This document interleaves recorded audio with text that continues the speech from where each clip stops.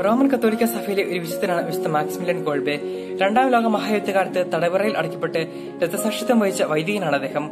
പോളണ്ടിലെ ഒരു കൊച്ചു ഗ്രാമമായ ഡൂൺസ്കാവോളിയിൽ ജൂലിയസിന്റെയും ഭാര്യ മരിയനയുടെയും രണ്ടാമത്തെ പുത്രനായി ആയിരത്തി എണ്ണൂറ്റി തൊണ്ണൂറ്റിനാല് ജനുവരി എട്ടിനാണ് മാക്സിമിലിയൻ ജനിക്കുന്നത്.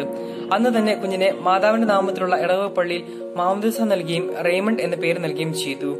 ആയിരത്തി തൊള്ളായിരത്തി പത്തിൽ അദ്ദേഹം പഠനം പൂർത്തിയാക്കി സഭാവസ്ത്രം സ്വീകരിച്ചു. ആയിരത്തി തൊള്ളായിരത്തി നാൽപ്പത്തി ഒന്നിൽ ഹിറ്റ്ലറിന്റെ ക്യാമ്പിൽ ഒരാൾ രക്ഷപ്പെടാൻ ഇടയായി. അതിനു പകരം പത്ത് പേരെ കൊല്ലാൻ തീരുമാനിച്ചു. ആ ലിസ്റ്റിൽപ്പെട്ട ഒരാൾക്ക് പകരം മരിക്കാൻ മാക്സിമിലിയൻ തയ്യാറായി. ആയിരത്തി തൊള്ളായിരത്തി എൺപത്തിരണ്ട് ഒക്ടോബർ പത്തിന് വിശുദ്ധ ജോൺ ബോൾ രണ്ടാമൻ മാർപ്പാപ്പ അദ്ദേഹത്തെ വിശുദ്ധനെ പ്രഖ്യാപിച്ചു. ലഹരി വസ്തുക്കളുടെ അടിമകൾ സത്യത്തിനുവേണ്ടി പോരാടുന്നവർ എന്നിവരുടെ മധ്യസ്ഥനാണ് വിശുദ്ധ മാക്സിമിലിയൻ കോൾബെ.